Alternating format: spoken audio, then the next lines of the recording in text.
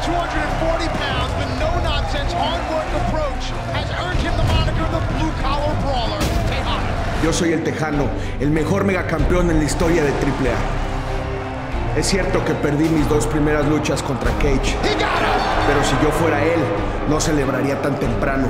Hay una cosa que he aprendido en la lucha libre, que no tienes que celebrar antes de tener la victoria en tus manos. ¿Sabes qué, Cage? Me tienes que ganar tres veces, no dos. Yo solamente necesito ganar la primera lucha y una a una para llevarme la victoria.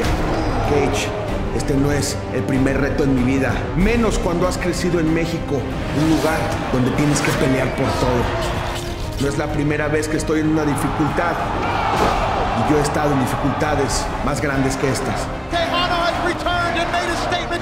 Él se dice llamar la máquina Remember something, Cage. Men build a machine, and men can break them.